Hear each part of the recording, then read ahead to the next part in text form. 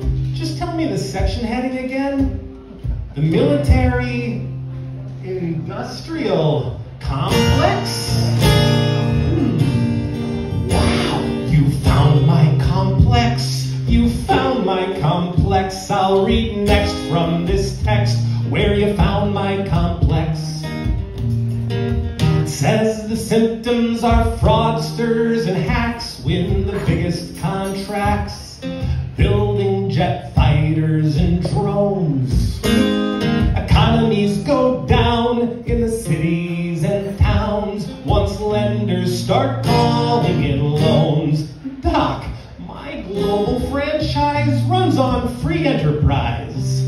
You're missing my problem's causation.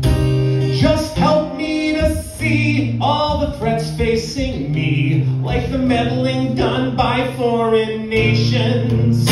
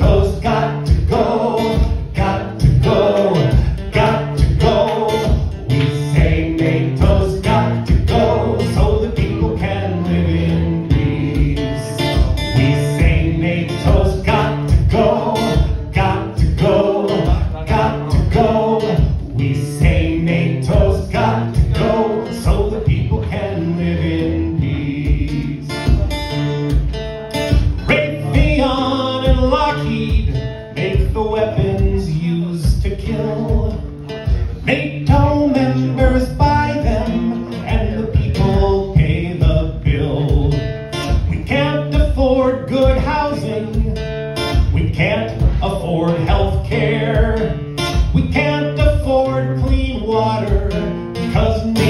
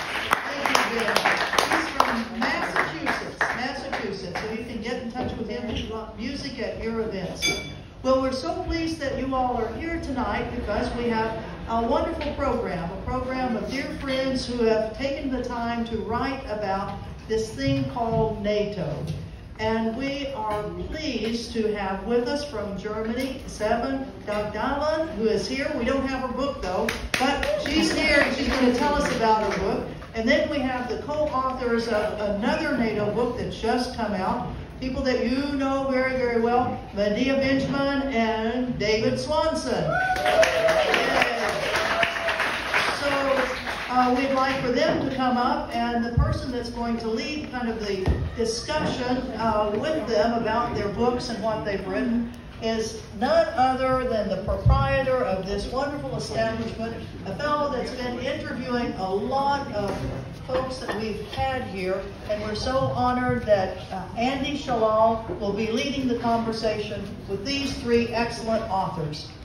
Big round of applause. Good, wonderful. And I want to say a real special thank you to Ann Wright and Dave Swanson for putting together an amazing weekend of activities and programs and the conference that they had. The Say No to NATO conference was really remarkable. So much information so many great people that presented there. Um, so please give them a hand. Thank you. I was, I was saying I was on my way here and I got stuck in traffic uh, coming from 14th Street to here. It took me an hour and a half to get here. Uh, the roads are closed, the alleys are closed, everything's closed. I always think like the more security there is, the bigger the crime that they're trying to cover up. So, so it's usually that's usually how it works. And of course, the amount of security they had, there's a lot of really shitty crime going on in there in that convention center. But um, we're here to talk a little bit about what's happening. Uh, and I want to begin, uh, this is going to be an open conversation between the three folks up here. They're far more knowledgeable about this issue than I am. And then we're going to open it up for a Q&A for you guys to ask questions for them.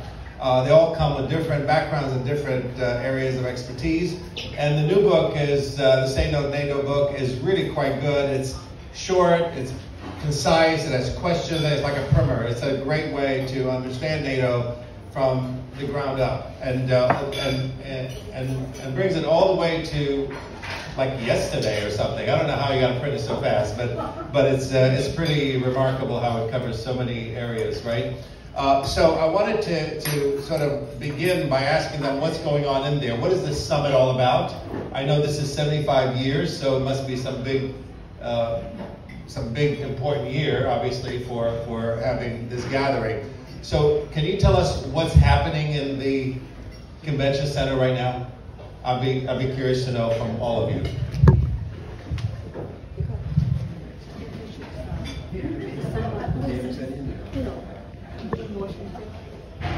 Well, I think um, what Andy said about the traffic is interesting because uh, anywhere you try to go where these people are having a forum, it is just surrounded by fences.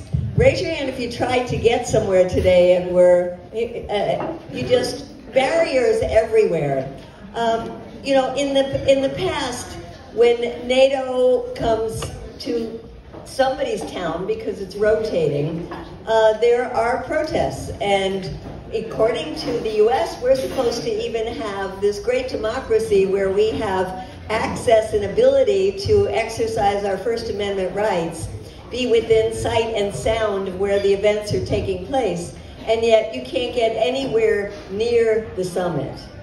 And uh, yesterday, before it started, I went over to the Marriott, which is right by the convention center, and saw a big sign that said public forum for NATO. And I thought, aha, okay, they're going to have their closed session private forum, and then there's a public forum. So I went in to try to sign up for the public forum. And what was so interesting is there was a sign there who were the sponsors of the public forum. And of course, there were weapons companies like Northrop Grumman, like Boeing, like Lockheed Martin. And when I went in to ask for a credential, they weren't speaking English. And they were um, people that were dressed in a lot of blue and yellow. So I wondered, uh, is this a Ukrainian forum? And indeed, they were Ukrainians, and they were organizing this public forum for NATO. And it turns out it's not a public forum at all. It's by invitation only to, uh, and then the public can watch it online. And that's what we're seeing for all of these other uh, events is you can watch it online and that's what makes it public. But they want to make sure that the people who are there are people who have bought into the agenda.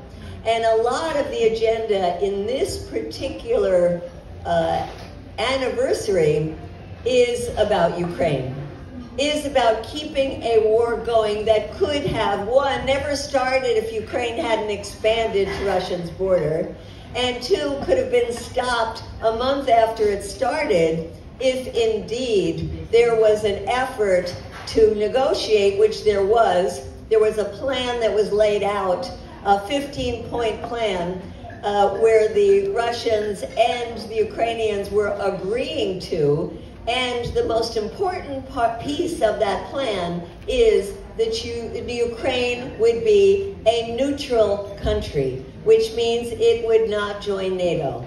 That was number one. And Zelensky at that time agreed to it and was ready to convince the people of Ukraine that that was necessary in order to end the war. But then the US and the UK came in and said, no, we won't agree to that.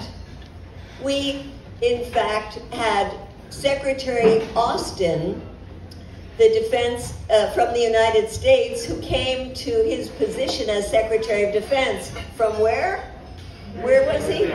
The board of Raytheon before he became Secretary of Defense. And he said that we would use this opportunity of the war to weaken Russia. And that's what they have been trying to do.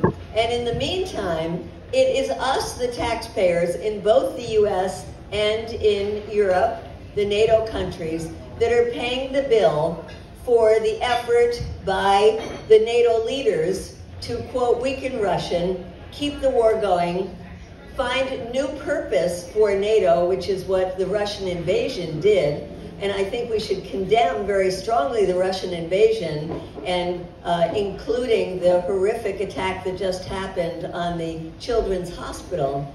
But we have to say that what we want is negotiations. What we want is to find a way to end that war and not to continue to pour billions and billions of dollars. And so for the U.S., we just passed a package of $60 billion to go to Ukraine to keep that war going. And at this NATO summit, what they want to do is to make sure there is a commitment for 40 billion euros, which is about 43 billion dollars of the United States, to be going to to uh, Ukraine to keep this war going indefinitely. And so, as we talk tonight, and Sevim, who is representing uh, Europe and what is happening to European economies and how this is playing out politically as well, um, to understand that in Europe, I think there is a lot more opposition to spending more and more of the gross domestic product on war, which is what NATO's goal is. You know, they want you to spend 2% of the GDP on war, which might sound like a little, but it actually is an enormous amount of money. And the NATO countries and Biden are bragging that they have pulled Europe into this militarism, so much so that now 23 of the 32 countries of NATO are indeed spending at least 2% of their GDP on the military, which means they're taking it away from healthcare, education, infrastructure, and addressing the climate crisis. So what they're doing, I think, is criminality. What they're doing is keeping us on a horrific treadmill of war that could lead to World War III, could lead to a nuclear war, and is robbing us, as Eisenhower said back in 1960, robbing us of the money that we need to attend to the people's needs here at home and around the planet. Thank you. I, I wanted to, before, before you, uh, Um, before we, uh, we continue, I wanted to, I don't think we did appropriate introductions uh, for you guys, especially for some of them who uh, many people may not know, and may not know her background. So I wanted to let Anne introduce her uh, properly.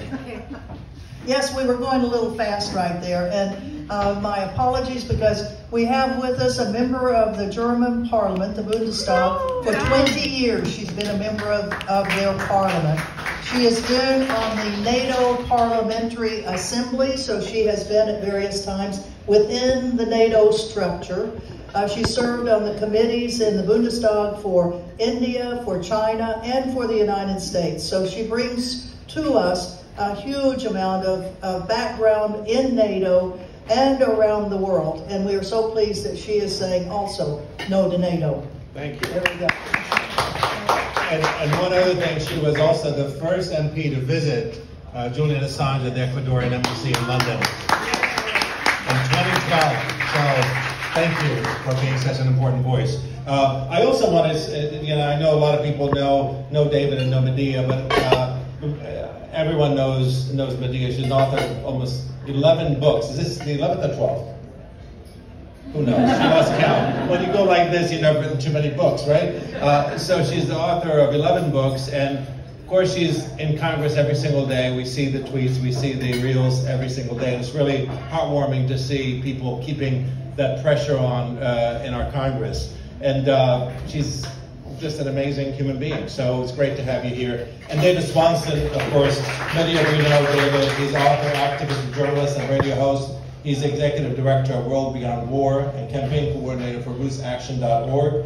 Um, his book, uh, which he did here, uh, was is War is a Lie, and his other book is When the World Outlawed War. He has a blog, davidswanson.org. So please follow him. Thank you. So I wanted to turn to you, for, for, for a minute. I know uh, that there's uh, the summit happening here, and it's odd that the day before the summit that there would be such a uh, increase in assault uh, on Kiev and um, from from Russia. Uh, what do you think the Russians are thinking? Is it was it intentional to sort of uh, come at this time? Uh, are what's what's why do you think this happened at this moment, where this increased attack Yeah. that happened from Russia against Ukraine, where they hit the hospital and you know made headlines, of course here. Of course, Well, we've been hitting hospitals in Gaza every day, so uh, you know, that's a whole whole different story. Yeah. But before I start, Yes. I just want to uh, uh, add uh, two things. One, uh, first, thank you all uh, for coming and thanks for having me. Unfortunately, the left my publisher, LeftWord Books, uh, they gave it to print. The the book was uh, published in Germany beginning of April this year, uh, right in time for the official 75th uh, anniversary of the NATO and then immediately went to the translation and editing and so on. And it became in Germany a bestseller uh, from the Spiegel magazine. It's like um, being a bestseller here at, uh, in the New York Times list. So um, I was very, uh, not that I think that it's uh, uh, so so important, but I do think I do believe in one thing that that makes th this is a proof that criticism on NATO is not unpopular in Germany, even though you have such a propaganda for the NATO, for the war machine, for warmongering, it's not unpopular. Uh, actually, the uh, the controversy is uh, is the fact. It became very uh, uh, very fast, Spiegel bestseller, and uh, and I do hope that many more books on on the NATO critics on NATO could get to more popular. Uh, so the LeftWord books, uh, they got in print last week. Uh, the print is in New York. I thought they could make it uh, to Washington, D.C. Uh, maybe NATO intervened, I don't know. So, but I, I do hope that we will have it at the book launch on Friday at People's Forum in New York City, and I hope uh, Busboys and Poets can can order it and people can pre-order it at uh, LeftWord Books. So the book is available. The, the book is available in English. So uh, this is the first thing. The second thing is um, you asked what is going on now at the NATO summit.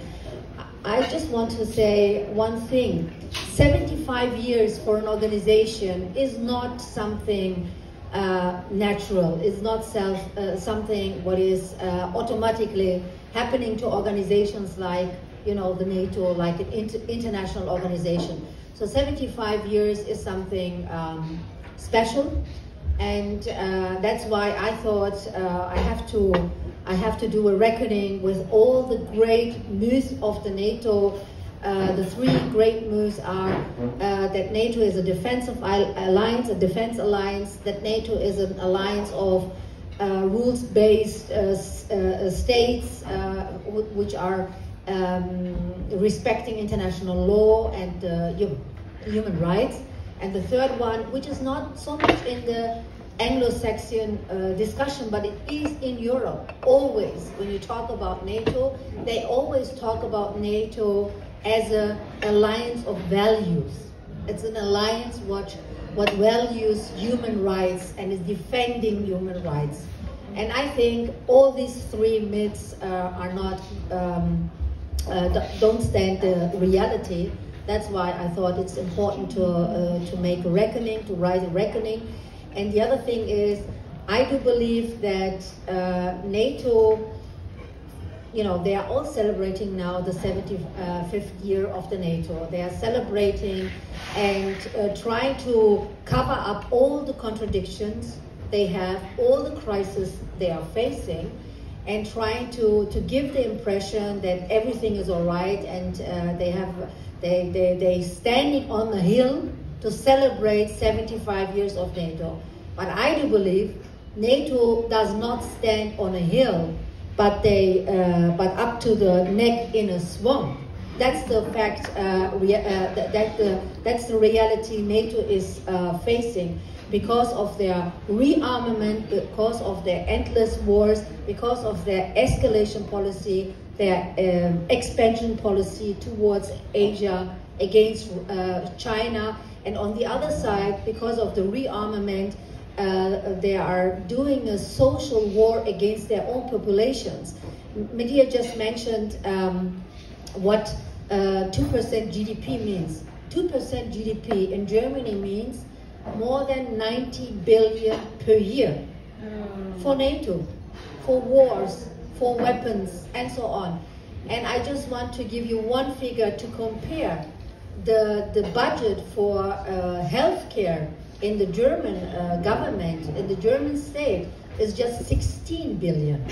16 billion. And they cut it one third of this budget, they cut it So it was uh, 16 uh, billion is now one third less than it was last year. And the reason is just simple. The reason is because we are transferring money and uh, more money and uh, weapons and more heavier weapons to Ukraine to fuel the war. So if you, and, and everyone knows if you have one dollar, you can just spend it once.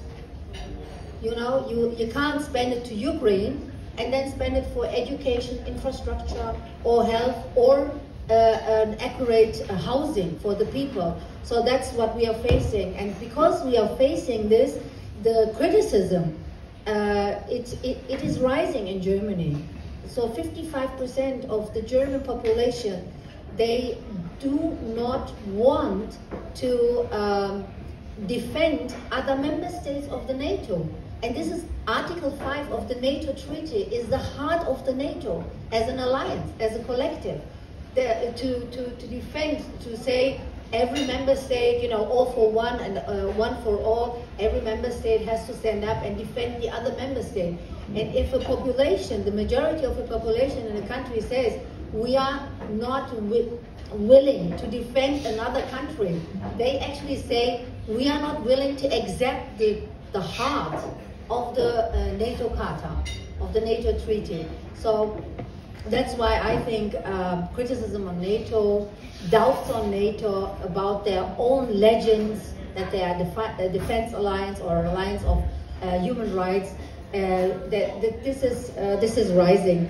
And uh, the, the third point you asked me about uh, why the Russians now are attacking uh, a hospital I don't know, I'm not the Russian Federation, uh, but I do know one thing, that in war times, in war zones, something like this is happening. And whoever is against this attack against the hospital must be in favor of a ceasefire and negotiation. And I just don't, and I just don't understand the logic. Everyone who's criticizing this attack of Russia and Ukraine is saying we have to send more weapons. Sending more weapons kills more people. You know, if you want to stop a war, you have to send diplomats, not weapons to a country. And that's, that's a very simple, simple, uh, simple uh, logic. And um, besides the, the fact of this hypocrisy, I mean, you know, killing 15,000 children, 15,000 children in Gaza, uh, bombing hospitals, bombing schools, bombing uh, refugee camps. This is not a problem. They, they, they don't say any word of arming the Palestinians against the aggression of, uh, of Israel, for example, but they, uh, but they are very loud on criticizing Russia now because of this attack. Of course, I condemn this attack as well. I condemn the aggression of Russia as well because it's a very clear breach of international law. It's a very clear. I don't say it's, uh, it's, uh, it was unprovoked, but it is a breach of international law and we have to condemn this. But uh, on the other way, I say, uh, if, you, if you're really interested of stopped, uh, stopping of uh, stopping the killings in Ukraine, you have to be in favor of negotiations and, and a ceasefire. And I'm afraid that at the NATO summit, it's the whole um, contrary what's going on there because there are three parts of this NATO summit we have to uh, consider. The one is uh, the working group meeting to think about sending more weapons, more heavier weapons to Ukraine. That kind of weapons which Ukraine can use or should use now on Russian territory. We do have German, very insane politicians. They even say uh, Ukraine has to have the capability to attack ministries, ministries in, uh, in, in, Moscow. They want to give them the, the weapons which can really attack ministries of the government in, in Moscow. Uh, the second is that um, that we have the meeting NATO plus Ukraine. The NATO-Ukraine uh, Council is meeting for, uh, for their strategic plans, how to escalate this war. And the third one uh, is the uh, NATO plus Asian Pacific Four. Uh, it's about the expansion, the NATOization of Asia against China. And I really, I'm, I'm, very concerned about the third one because that can lead very easily to a third world war. And that's why China is, at the moment, they already, they already criticize what's going on here at the summit and uh, criticize that they are now uh, having the negotiations on the communique of the NATO where they want to mention China in an aggressive way. How, how, uh, yes. Yeah. Uh, how popular is your voice in the, uh, in the parliament? How many other members of the parliament uh, stand behind you? Uh, or alongside you? Yeah, uh, maybe not uh, behind me, but uh, behind the criticism on NATO. Um, it's well, it's difficult. I mean, uh, I'm a member of parliament from the Sahra Wagenknecht Alliance. We just uh, found this party. we have been members of the German Left Party, Die Linke, in the past, and we, we left the party last year um, one major reason why we did leave the left party was that they were in favor of the sanctions, that means the economic war against Russia. Um, I'm against it because I think sanctions are weapons of mass destruction and we shouldn't uh, support. The other thing is, um, the other thing is uh, uh, partly they are in, uh, in favor of weapon deliveries to Ukraine and uh, and this is totally the uh, contrary to that what is in the program said uh, in the left party, which I did right partly. So uh, that's why we left uh, the left party and built a new uh, party. It's called Sahra Wagenknecht Alliance, Reason and Justice, and um, we had our congress in January this year, our founding congress, and. Um, and we had uh, the first national elections at the European parliamentary elections and won six seats in the European Parliament. It was a big success for us because uh, being six months old as a party and facing such a such a challenge for the for the elections was uh, very tough. And we are very happy and now we are um, we are looking for the next coming elections. And our criticism of NATO is very clear uh, there is uh, the left party is still criticizing officially uh, still, uh, but there are some voices who say after the attack on Ukraine, uh, something is being shifting without the left in whole Europe actually.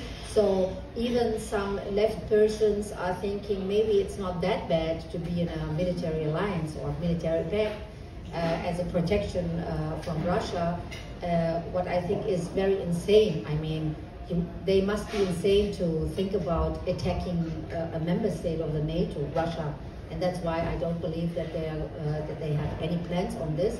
But on the right, uh, we do have uh, the far right party AfD in the German parliament. They are in the opposition and they are criticizing not NATO itself, they voted in favor of the enlargement regarding Finland and Sweden, unfortunately, uh, and they are uh, in favor of 2% of GDP for NATO expenses, and, uh, and uh, but they are uh, against the enlargement with Ukraine, and uh, and we have still in the governmental party, Social Democrats, some voices who are against the membership of, uh, of the NATO, uh, of, of Ukraine in the NATO, because they know that, that uh, this will that, that this will bring, uh, uh, bring us to the brink of uh, World War III against Russia. So some of them are, are reasonable still. Uh, but the most important is that in the population is different, different, uh, different. So it's the same like in the U.S. You have a transatlantic media, transatlantic politicians. They are serving not for the majority of the people. They are serving for, you know, uh, the military-industrial complex. or for some other lobby organizations, transatlantic lobby organization. That's why I'm saying the German government is a very good example for being a vessel state for the United States. I want to turn to you, David, for a second. I think Sevim mentioned that, you know, the idea of sending arms only kills more people. Why are we sending diplomats instead? That seems logical. I think everyone would agree here that it makes a lot more sense and certainly a lot cheaper to be able to send diplomats than it would be to uh, continue to arm have people with seen teeth. some, Have you seen some of their bar bills? Come on. yeah, that's true. That's true. Uh, so, can you tell us who's benefiting from all this? Who's benefiting from this alliance, and why are member states? Because I think the book speaks very clearly that the U.S. calls the shots when it comes to NATO. Why are member states willing to be kind of subservient to U.S. interests?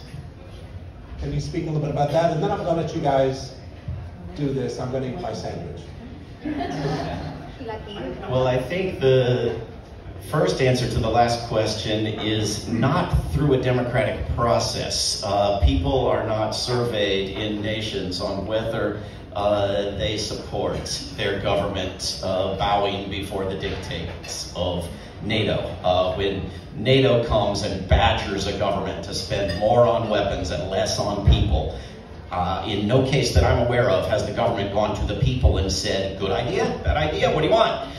Never happened. Uh, why do the governments themselves uh, make themselves subservient to NATO and to the United States? Uh, I think in part because they're made up of individuals who see their own individual interest uh, right. in that and who are considerably corrupt. Uh, I mean, NATO is principally a weapons dealing organization. This was the big announcement today. They're going to make more missiles and sell more missiles. This is this is what NATO does. Um, I think uh, I can't read my own writing. Uh, I, I I think to your other point, Andy, about why would Russia do something so stupid as to send missiles into Kiev the day before NATO's going to meet and decide how much exactly it hates Russia. Uh, you know, I think there is an element of, it used to be called, in relation to nuclear standoff, MAD, mutually assured destruction. There's, there's a sort of a mutually uh, provoked militarism. I, I mean, we know from the, from the earlier part of the Cold War specific incidents of Soviets and U.S. militarists helping the others uh, in very timely ways to boost military spending by the so-called enemy or opponent. Uh, you know, I, I, don't, I don't know the thinking of Belarus when they threatened to use nukes the day before a NATO summit. I don't know the thinking behind announcing their Chinese troops doing drills in, in Belarus. Well, you know, the sane among us are saying NATO's out of its mind. China is not in Europe. Why? put China in Europe, you know. Uh, and I and I don't, but I do know that the weapons dealers and the authoritarian government officials that are subservient principally to weapons dealers and secondarily to Joe Biden, who's running the world, uh, benefit from conflict, benefit from aggravation, benefit from increased hostility. Um, and my God, do they love that alliance of values thing right? Because you can't say China's a threat because it builds too many toasters, and you can't say China's a threat because it's actually attacking the United States. But you can say China's threatening our values, and you don't even have to explain what it means. You don't even have to know what it means. God knows Joe Biden doesn't know what it means, but but they say it, right? They say it all the time. Um, I think principally what NATO does is, is propaganda, is education, is indoctrination. And what they've done and what they're doing here in this town is normalizing the idea that the more money you have, the more you should spend it on weapons as a public service, as your duty as a good global citizen, which is absolute insanity.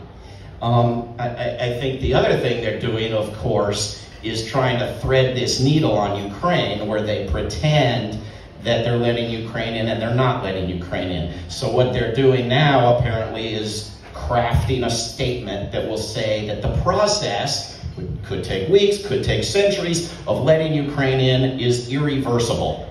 Right. Sort of like dementia.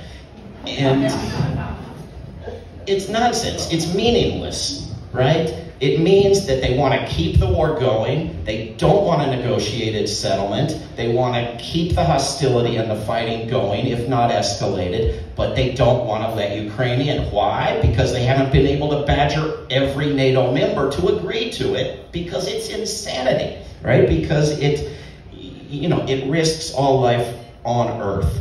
Um, So is, is, is continuing the war kind of a, um, an audition for Zelensky? To be able to enter into NATO? Well, I think Zelensky is willing to be the sort of privatizing everything, selling out to Washington in every way government. The problem isn't Zelensky. The problem is that not every NATO member government wants to destroy all life on Earth right away. They, they, they want to, you know, hold off a bit. They aren't that crazy, thank God. Um, the, the, the big story, uh, just to mention one final point, the big story for the corporate US media, and to some extent the world media that follows, is nothing to do with NATO. It's, it's Biden. It's just Biden. Um, Medea and I did an interview the other day where, you know, they were a little bit interested in NATO, but principally as it impacts Biden, right? And I, I have been reading about how they want to give a test to Biden, and see if he can count backwards by sevens and so this sort of nonsense. And I thought we could take the opportunity to give him a better test. Oh, we have one. I have a test for Oh. Biden. Uh, five five questions. You want to hear them? Yes. Yes. I, I think this will tell us everything we need to know about whether he's fit for the job. Number one, did you believe that you had seen photos of beheaded babies? Number two, when you are trying to decide what you've seen, do you examine your memory, your staff, the Israeli government, or MSNBC? Number three, after this many years of pretending you opposed the war on Iraq, do you now believe that? And if so, when did you come to believe it? Number four, mm-hmm. you say that you're running the world and that you're doing it for democracy. Do you believe that the world has elected you to run the world? And, and number five, this is the math part. If two old power mad sociopaths walk into an election, how many people survive a nuclear war?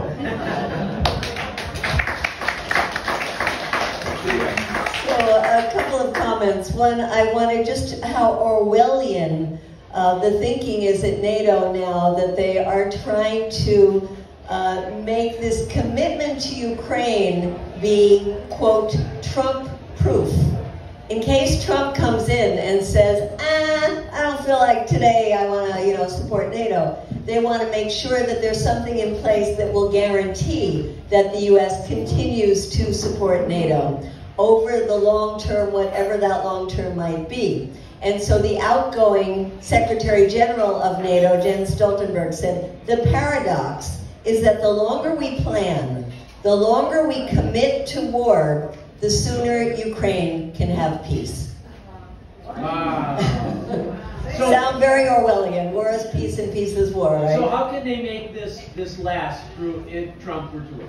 Well, so there's a bilateral agreement between the U.S. and Ukraine that's supposed to be a 10-year one. Of course, it doesn't have to last. Uh, and they are going to make this commitment at this uh, summit right now to say, uh, as I said earlier, that there will be this 40 billion euro commitment indefinitely um, to NATO. And uh, they're also building up this in a U.S. base in Germany called Weissen, Wiesbaden, Wiesbaden, uh, that will be the central command for controlling all of the military hardware and the training that will be done for uh, uh, Ukraine. And they said we'll have up to 700 staff people just for that. So they're putting in place all of the elements that will make sure that this war continues. But don't they have to have Senate approval for something like that? Well, of course, they're supposed to have congressional approval anytime that the U.S. gets involved in anything that can be called a war, but they don't call this a war because it's not U.S. troops on the ground. Um, but it's everything else. It's U.S. machinery, it's U.S. intelligence, it's U.S. cover, uh, and it's U.S. pushing this war.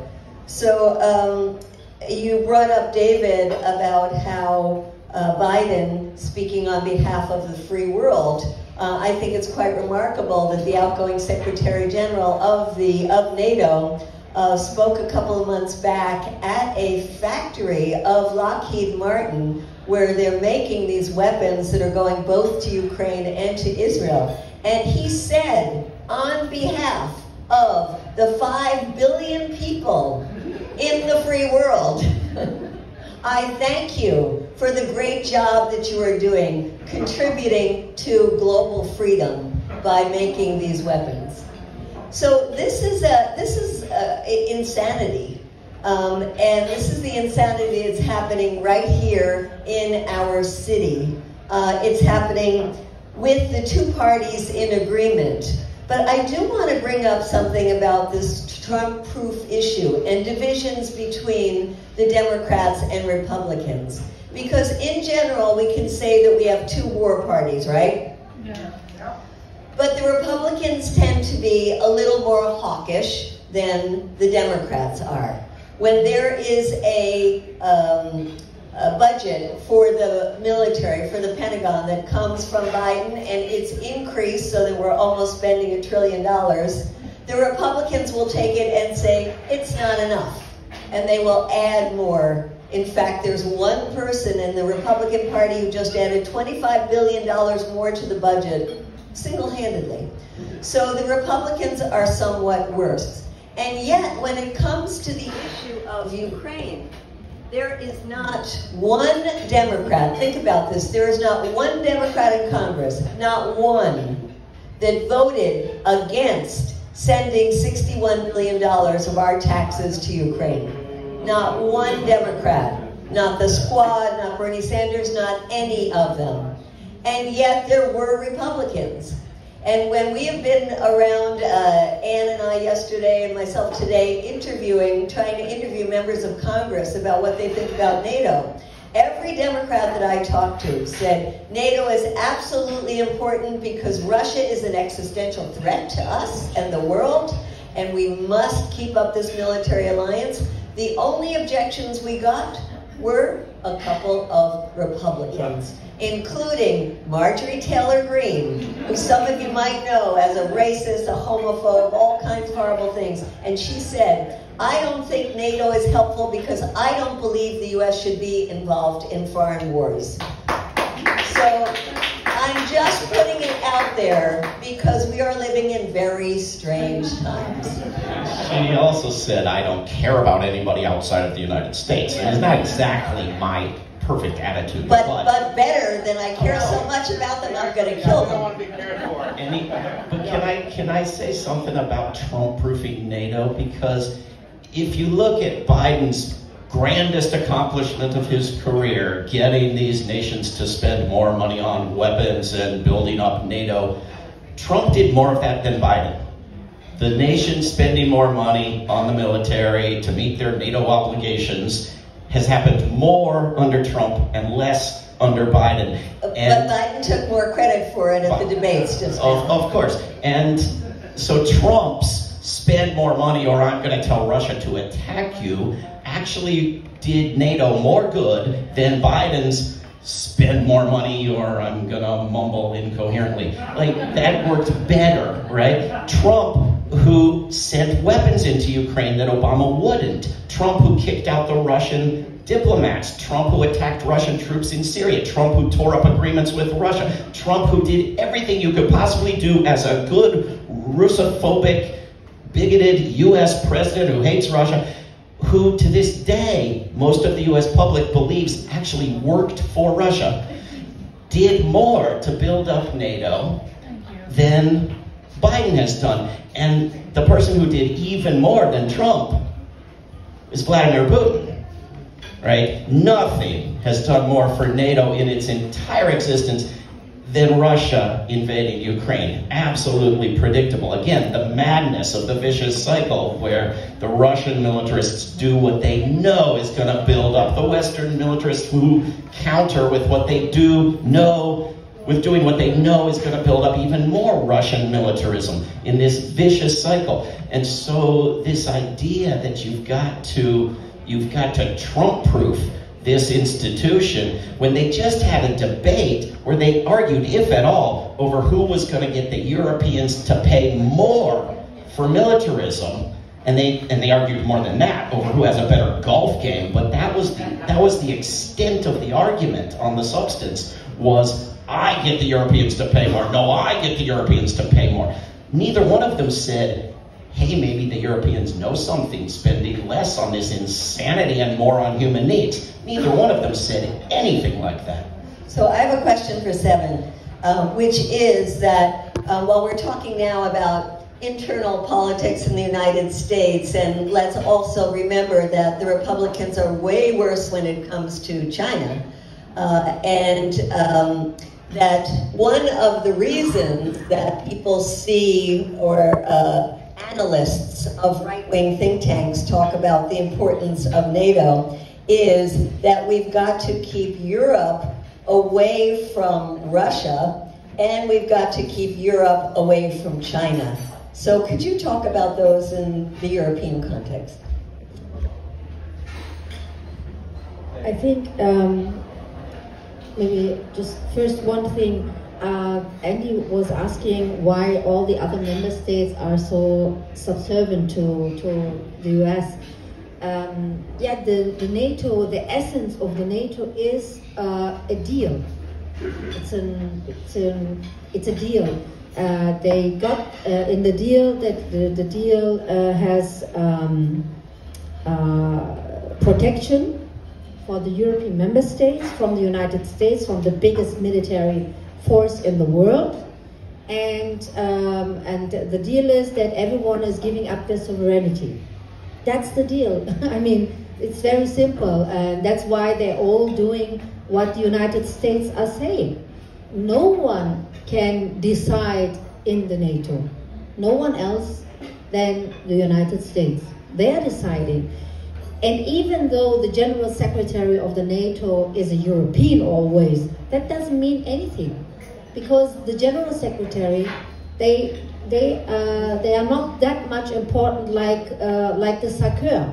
The SACEUR is a, it's a military pact. The NATO is the military pact, and the SACEUR has the, is the command chief of the NATO army, and it's always always a U.S. American in person, always a U.S. American, and uh, this U.S. American, the SACEUR is also always the commander of the United States forces in Europe. It's always one person, the same person. So um, from this structure actually, and if one member state wants to wants to quit, wants to leave the NATO, they don't they, they, they cannot send a letter to the General Secretary of the NATO and send them a letter and say, well, we, we, we think we, we are strong enough, we don't want to be in the military pact anymore, we are leaving the NATO. That doesn't work like this. You have to come to Washington, D.C., yeah? This is the address. The address of, uh, of NATO is the United States. And nothing, nothing can happen within, within the NATO without or against the will of the United States. So NATO is actually United States. And this was actually the reason why it was founded in 1949. The, the, the pre-treaty um, uh, was 1947 the United States with uh, done with Latin American states for a, a by-side uh, pact that they are uh, defending each other, that they are uh, supporting each other. And the idea was to have a Pax Americana, an, an exclusive influence zone for the United States. And from that treaty, the OAS treaty came, then later. But this treaty is actually the, the how you say, the role model it was for the NATO treaty 1949, where United States decided then to build a Pax Americana in Europe. That's why transatlantic uh, uh, treaty organization, European and uh, Atlantic. So, but this was the this is the deal about it, and this is why they are all other vassal states, no allies, because United States is not interested in allies. They are all just vassals. So this is, this is one thing. The second thing is. Um, I don't want to comment that much your internal issues, but to me, it looks like the choice between pest and cholera sometimes when I look into the United States. So, uh, and I think the reason is that, that the political system is a sick system. It's a false system. It's not democratic. That's the problem, I think. And, uh, and it's a shame uh, for the land of free and democracy that they couldn't manage to have a democratic uh, electoral system to, to implement such a, a, system which is democratic. And um, and the and the and the Europeans, yeah, uh, you told it. The the first General Secretary, uh, Lord Ismay, once said the the aim, the goal of the NATO is to keep the Russians out. Uh, to to keep the Germans uh, down, and uh, yeah, the thing is now you can actually say now 2024 it still uh, keeps the uh, Russians out, but uh, keeps the uh, Europe down. That's what they did, not just Germany. Economy, in, in, in the economically, they are really drowning Europe's economy uh, on their on their on their own costs, uh, just because of the geostrategic interests of the United States. And this is what they're doing with, uh, with uh, the relation to China as well. I mean, they have bombed our infrastructure, uh, our, our energy infrastructure. It's the biggest terrorist attack we have seen. And no one is responsible for that, right. you know. And but although everyone knows who did it, yeah, everyone knows. Talk about the Nord Stream pipeline. The Nord Stream pipeline, and um, they didn't do anything. We are paying still four or five times more for energy than the US Americans did. In 2022 and uh, 23, we paid sometimes 14 times more for energy than you guys here in the United States. Why? Because uh, insanity is a ruling in, uh, in Europe against their own interests. They started because United States wanted uh, a war, an economic war with sanctions against Russia, and they uh, shot in their own uh, uh, knee because we need our industry in Germany, our prosperity. The key of our prosperity in Germany is uh, cheap energy. Cheap energy from Russia. That was the key. And the market in, uh, in China, the big market in China. These are the two key issues why we do have such a prosperity uh, or while, while we had such a prosperity in Germany. And now uh, we are drowning because uh, we have 178,000 thousand um, co uh, companies only last year who shut down. 178,000. Our military, uh, our industry, the, the heart of our industry, like uh, chemical industry, BASF, one of the biggest in the world, or some others like the automotive uh, industry, car industry, uh, they are all closing or they are going to uh, uh abroad to the United States because they have less, they have uh, cheaper energy prices. That is what's going on. And uh, United States is benefiting from this situation because they are uh, losing uh, a competitor like Europe, like Germany, the, the biggest economy there, the strongest economy, not anymore. And, uh, and Europe is uh, losing. And the thing is now, they are pushing Germany and Europe, uh, although China is our biggest trade partner, they are pushing us into a confrontation with China. And the first shot they did was last Friday. They started with uh, shooting at uh, China with sanctions on the electro uh, ve- vehicles they have. And uh, they are talking about overcapacity. Like overcapacity means they're exporting a lot of their cars. I remember that Germany was for years export world champion for years. We had the most export, uh, uh, export strongest country in the world. Germany was for many years. So the Chinese never accused us because of overcapacity. You know, never uh, uh, accused us. But now they are uh, they are accusing China to do good cars. Uh, and, uh, and, the, and, and I don't think, yeah, it's cheaper, way cheaper. And, uh, but uh, one missing part is also the logic regarding climate change. They always say, they always pray, we have to protect the climate, the environment, we need better technologies to save the planet.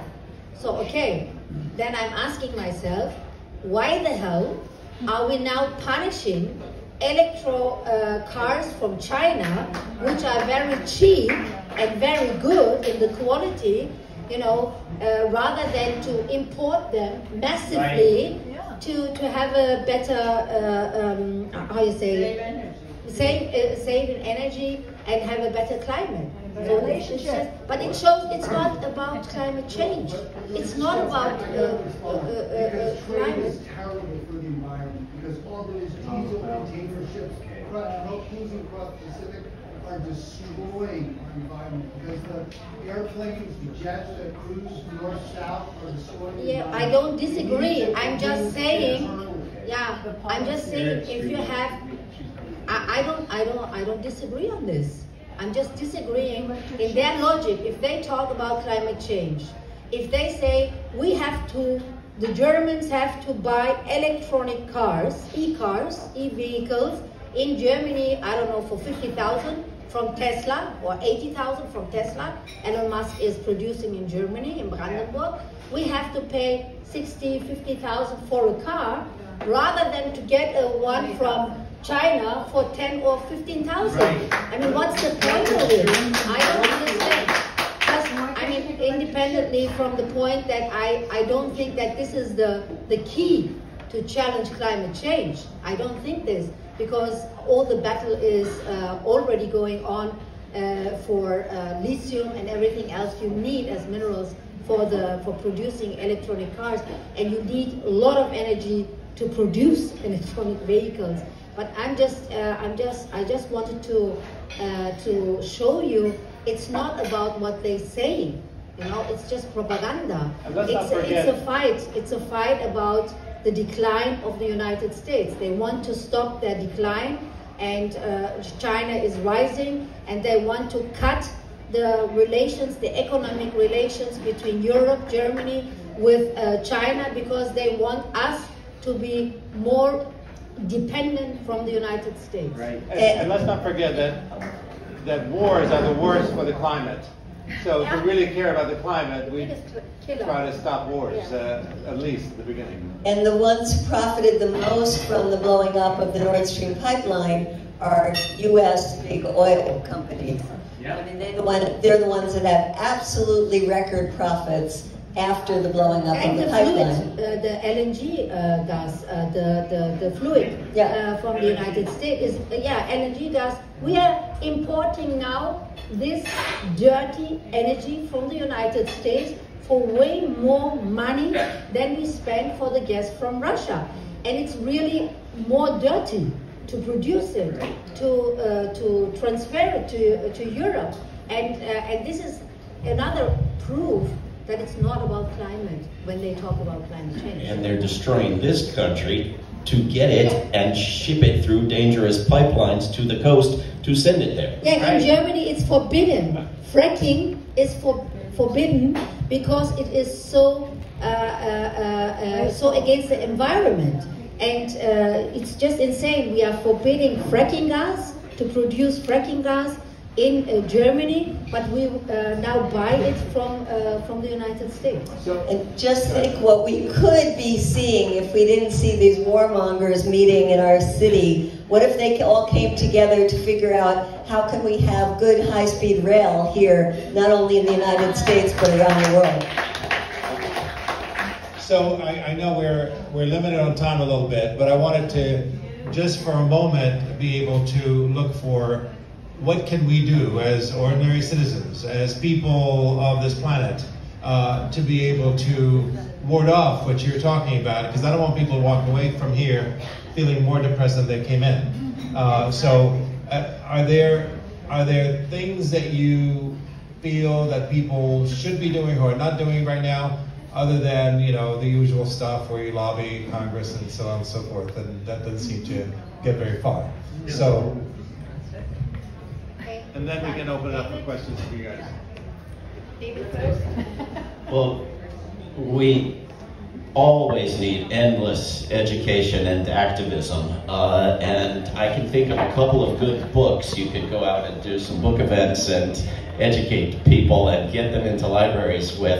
Um, but there is an opportunity for activism here because this country, despite all the trillions of dollars for bombing every corner of the world for democracy, has given almost all power to a single individual. And now that single individual can't string 10 words together. Right. And so there is an opportunity to say to your senators and to your misrepresentatives on Capitol Hill, we need, especially the ones in the so-called Democratic Party, we need a change, not just because he can't talk, but because he doesn't agree with us, with what we want, with what was in your party platform three and a half years ago, with what the world needs to survive.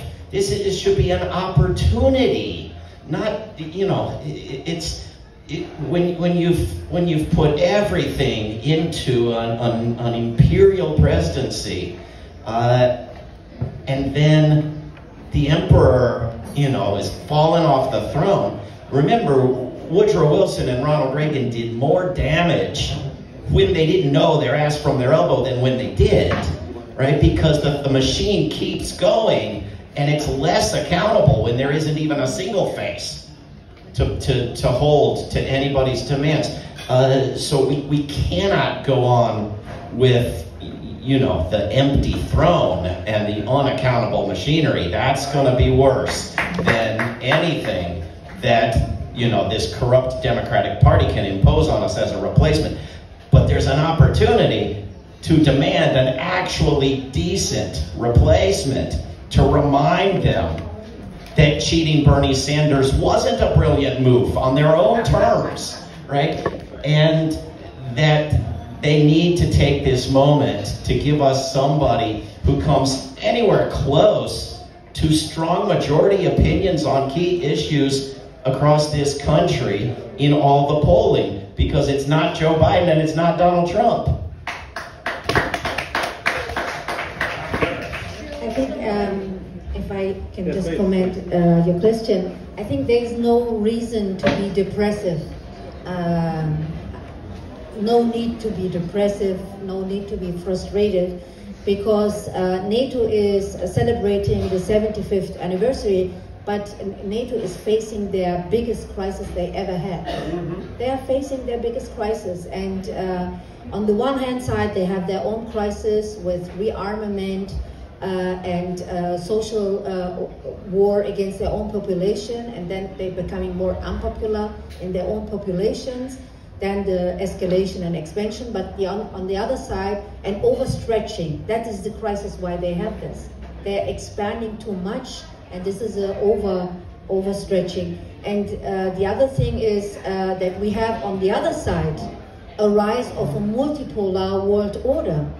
I mean, the BRICS states, the New Development Bank, uh, in, in aiming uh, to de-dollarize the financial, international financial system.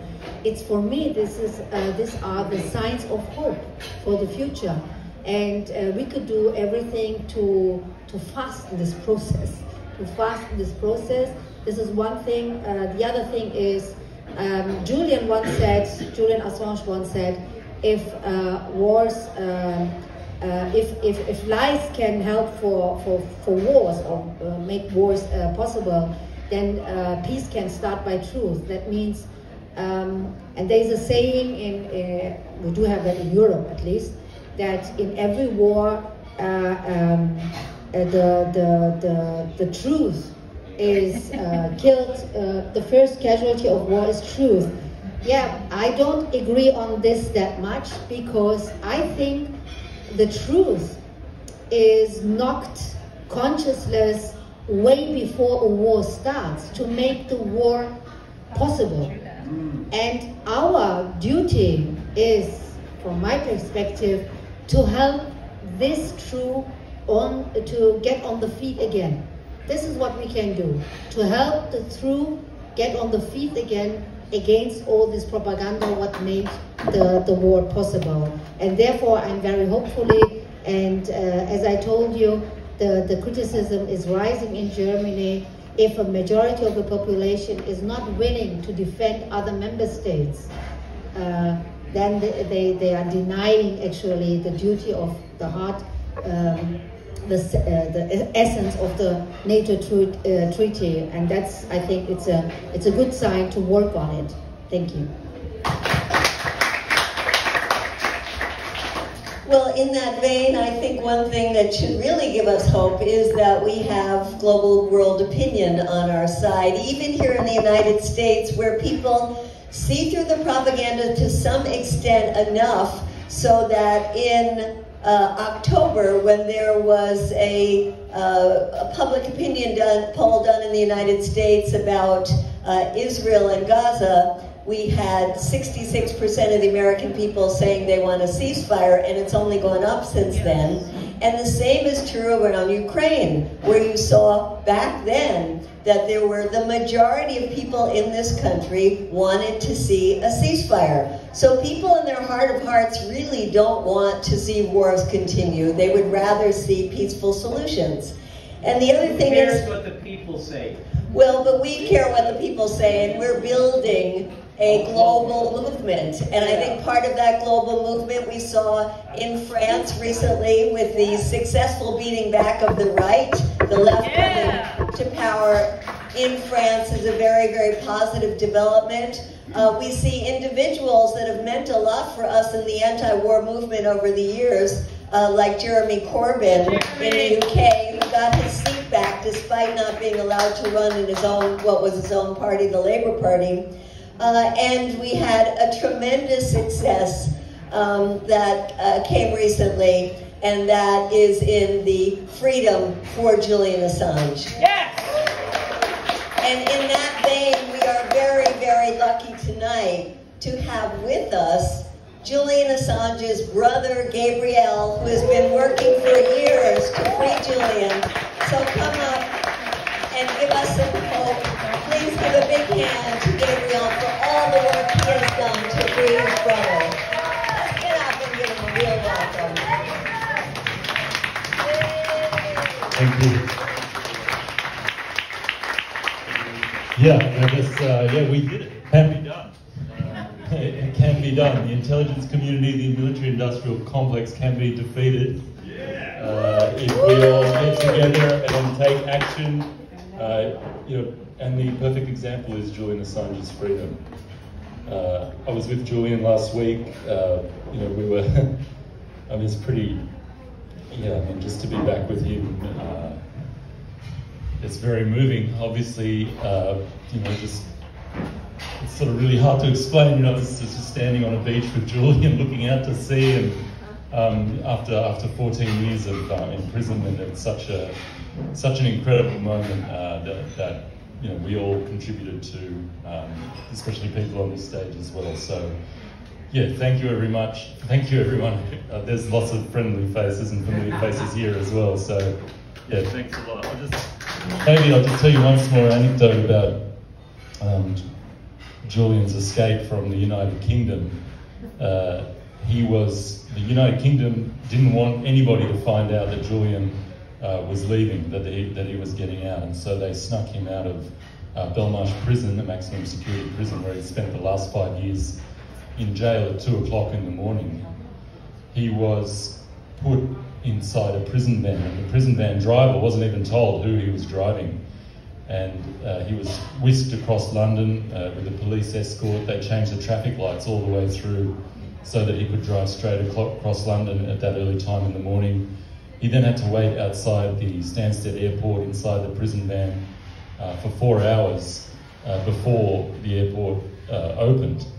Uh, and once the airport opened, he went to the private terminal where they have the, the private jets take off from. He had to fly from Stansted to Bangkok, then to Saipan and, and the US territory, and then to Australia.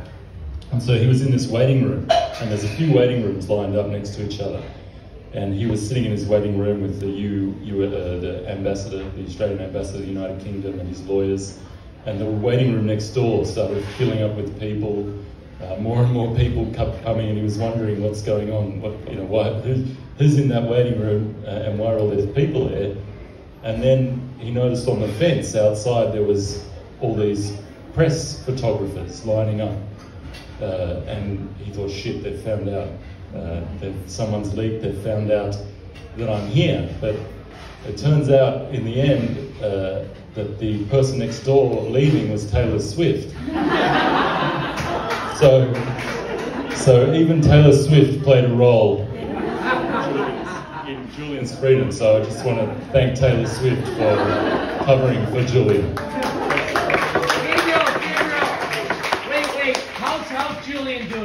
Yeah, he's good. He's he's really good, Tug. I mean, he's you know been with his children and his family. Um, yeah, he's got a, he's got I think some recovery and everything to do, but I think he's still got a fire. You know, he's only 53, so I think he's still got a lot of work to do. So. What is the possibility for a pardon? Well, I, I was I've just been uh, up uh, up on the hill. The question, maybe. Uh, so the possibility of a pardon for Julian. So I was just up on the hill today, and there's a lot. There's a very strong response from people that you know uh, that the pardon, pardon will be supported. Uh, you know, all the, the, groups like ACLU, Freedom of the Press Foundation, have all said to me that they'll support uh, a pardon campaign. So I think there will be a possibility of a pardon, you know, depending on what happens in the election, obviously. But uh, yeah, we're going to push for that, uh, and, and, we'll have the support of all our allies uh, in Congress. So. You. Thank you very much, Gabriel. And Um, what time is it? it is 7.36, 7.35. All right, so maybe we have time for.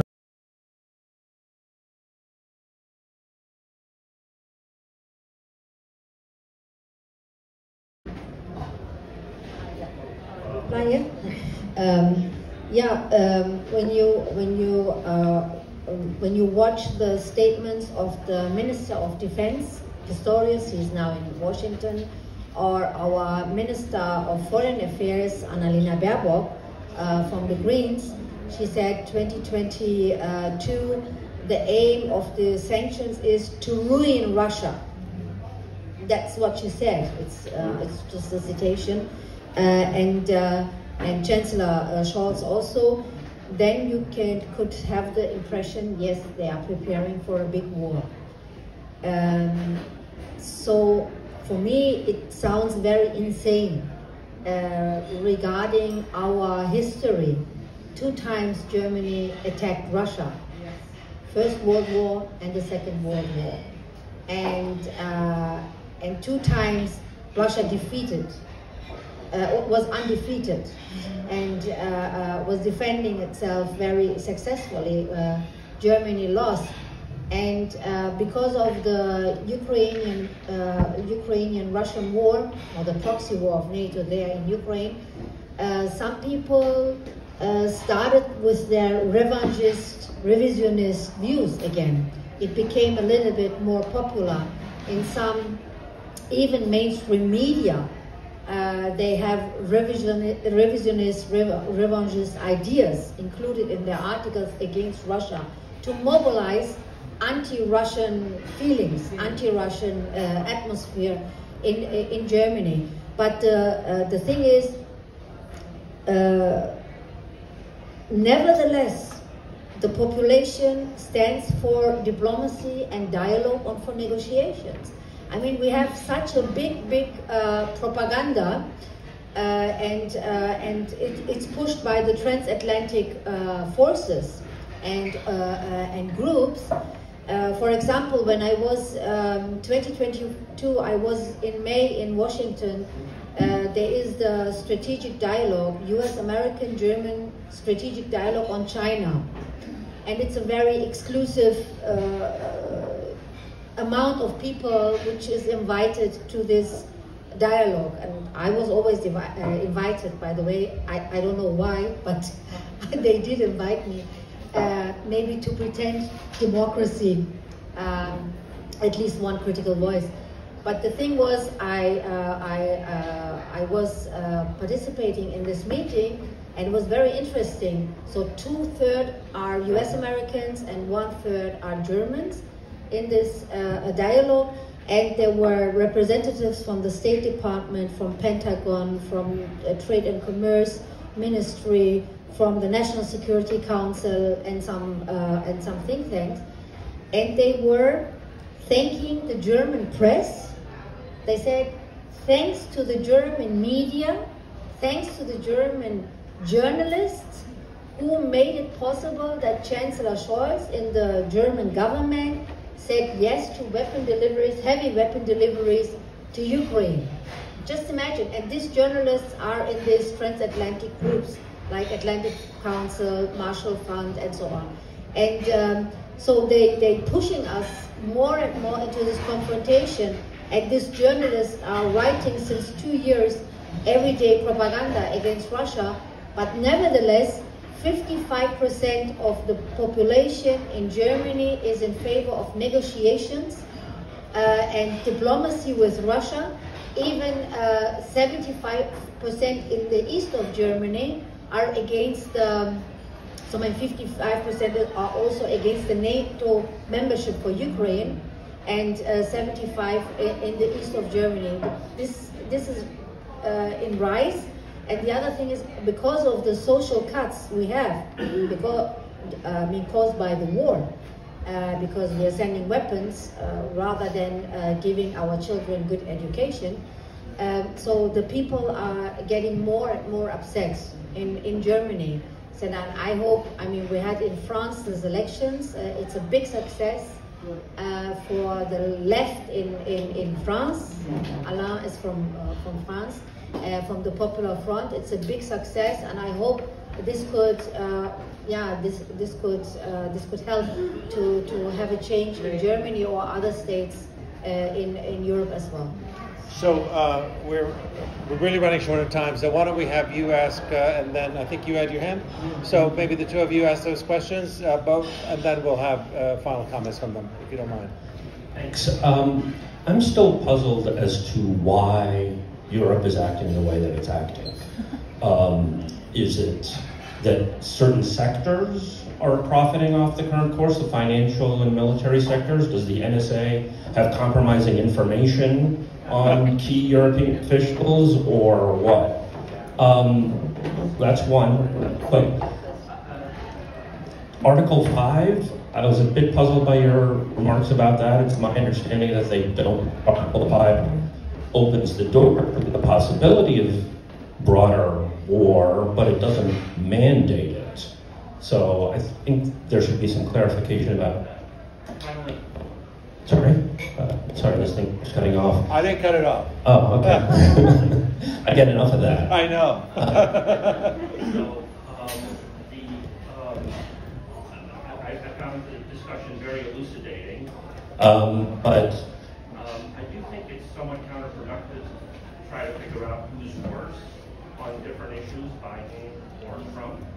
I think there is a symbiotic relationship. Am hitting something I shouldn't? Thank you. And, um, are, I view them as being in a symbiotic relationship, which is why I've put forward a very practical thing that anybody can do, which is vote pact. Would-be Biden voters, would-be Trump voters pair up and both vote for non-genocidal, non-pro-NATO candidates. You're not helping either one of them if you do it in pairs. It's a very strategic form of voting, um, and it's something that anybody can do. Find the Marjorie Taylor Greene in your life, and both bail out of uh, this uh, this system. So I'll just use, I don't need a mic. Am I loud enough or you want me to? Go ahead, yeah, if, if it works, it's. All right, so I basically have the same point as this gentleman here at the end. You said, I believe, we should pressure the Democratic leadership to appoint somebody who represents the American public. I don't know who that is in the Democratic Party. Every single Democrat in Congress voted for Hakeem Jeffries, the congressman from Wall Street and AIPAC and the military industrial complex, to be their leader. Isn't it time that we on the pro-peace, pro-worker, pro-poor, pro-struggling American vote for and unite in support of Jill Stein? Oh, yeah!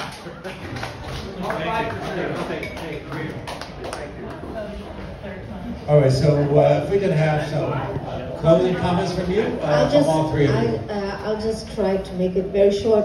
Uh, this is a question what I've got in the last, uh, in the recent years, especially from the global south.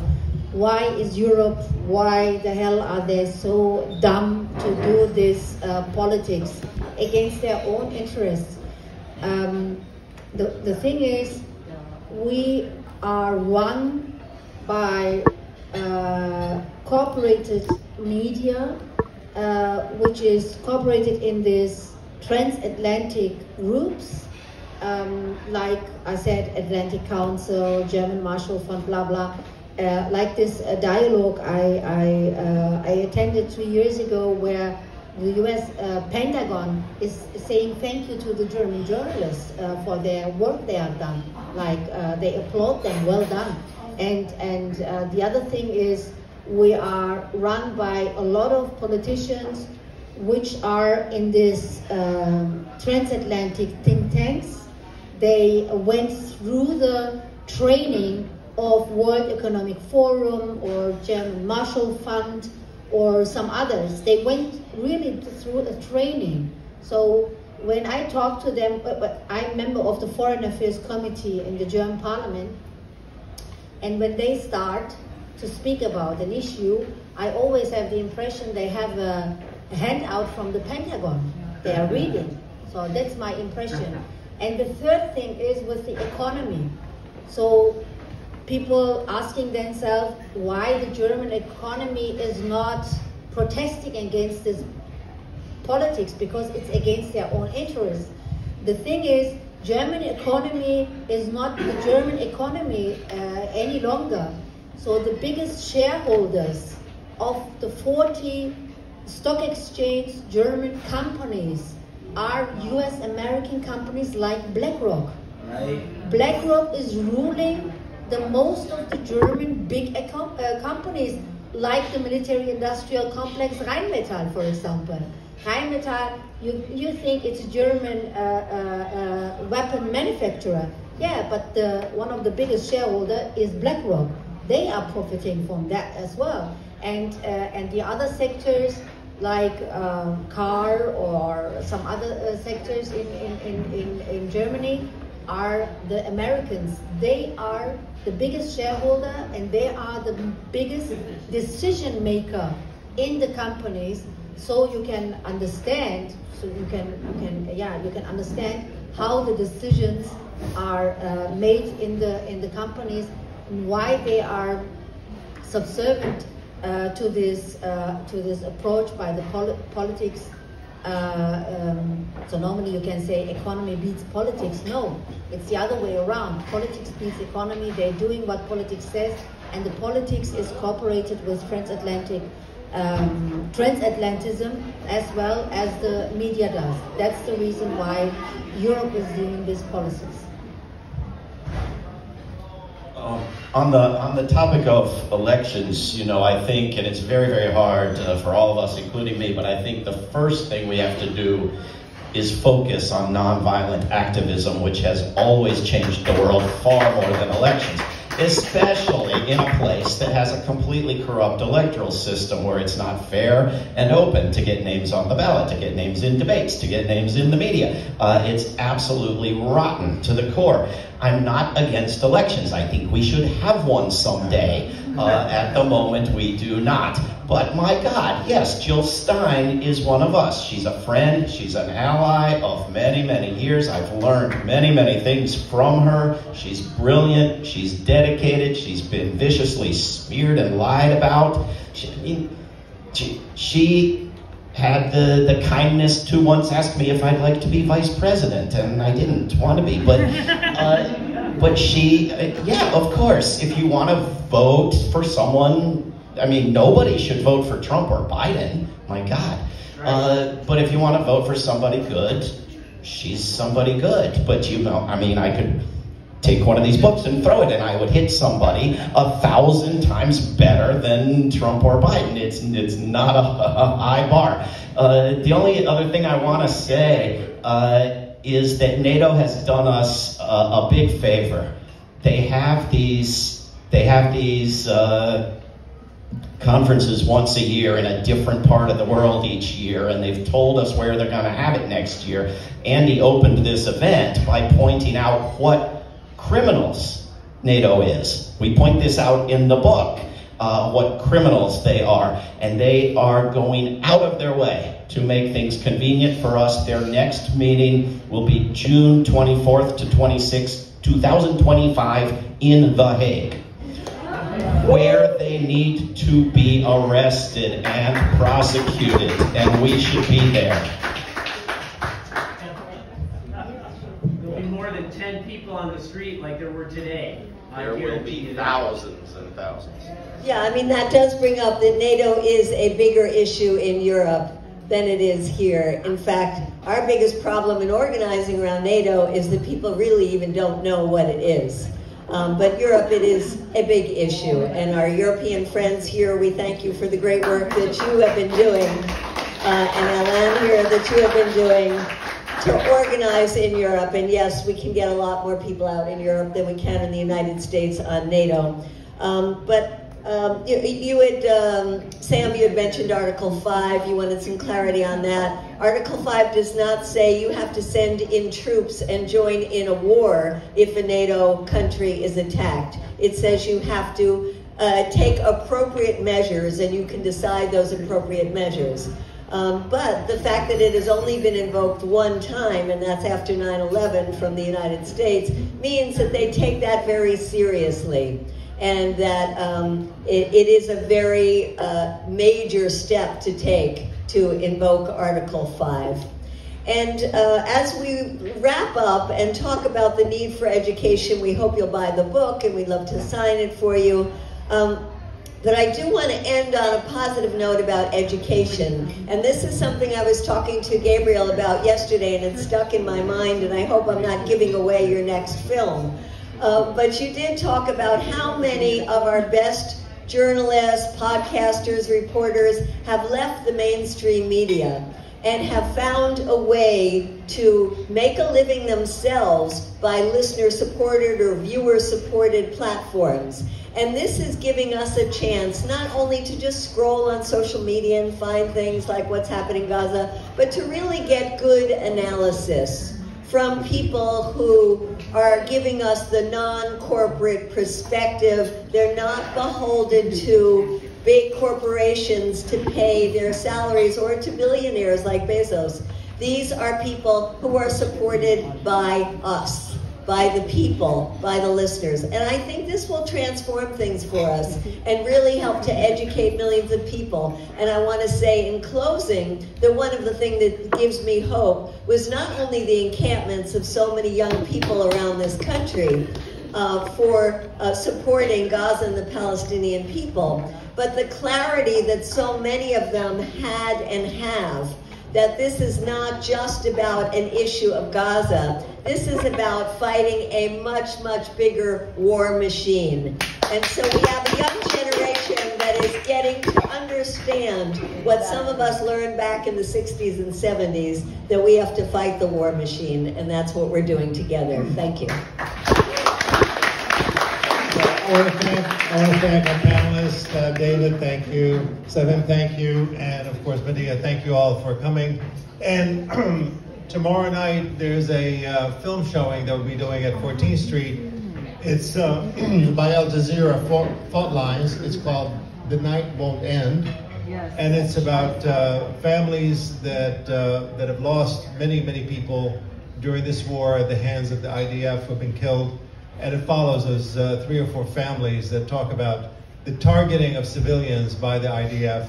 Uh, we're going to have Josh Paul, uh, will be one of the panelists, uh, who's the, uh, the State Department, uh, uh, is it resignee? Is that, is that yeah, a person that resigned from the State Department uh, over this war? I'm sorry?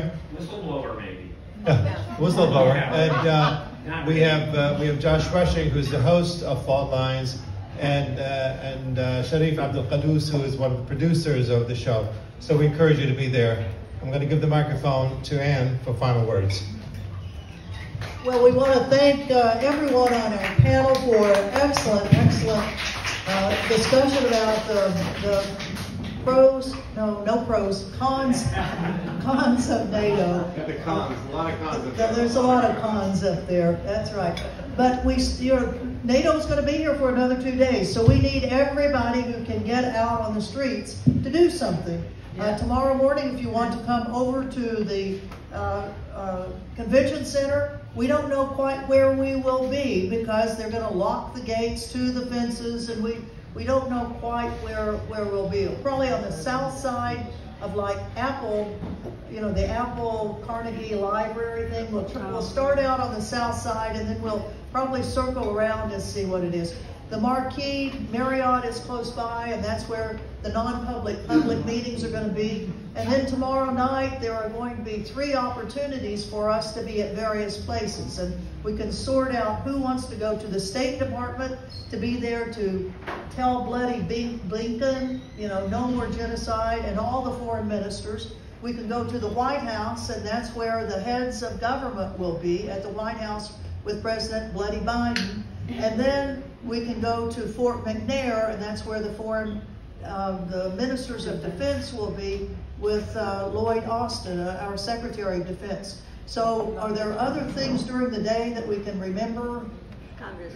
And of course, Congress, every day going back into that evil, mean Congress. So if you want to do that, it's 10 o'clock at the Rayburn Cafeteria to meet then. Any other things that people have noted during the course of the day for tomorrow in Washington? Well, again, let's give our, our, our authors, our book people, a big round of applause. We're gonna, have both David and Medea come sit over here.